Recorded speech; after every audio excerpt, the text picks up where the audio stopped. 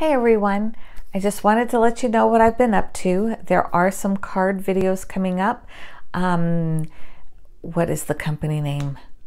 Peachy Cheap got in touch with me and they've sent me some product that they want me to demo on September 23rd. So here on September 23rd, I'll be making a ton of cards out of one paper pad.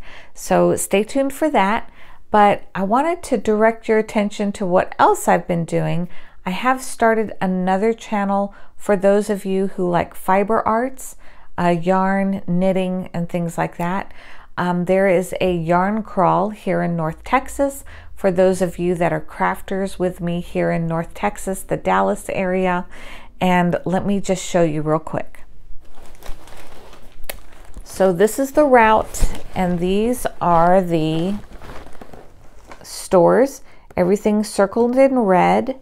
They're handing out badges, these little one out one inch badges at each of the stores, or some of them are doing a stitch marker uh, when you get to their store.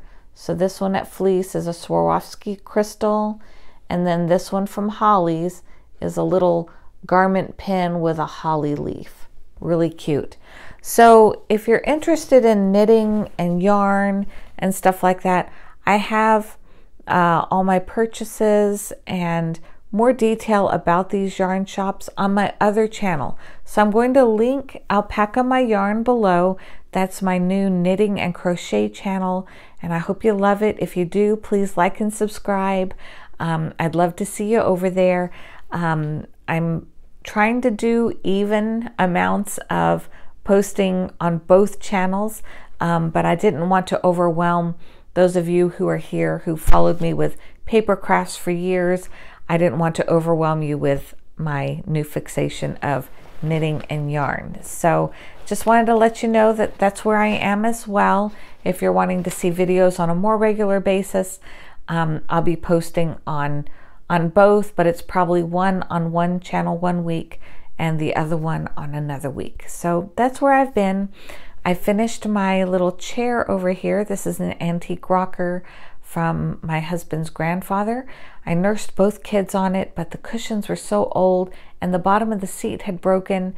So I fixed it, and those are the new cushions that came in. So now my knitting corner is ready as well.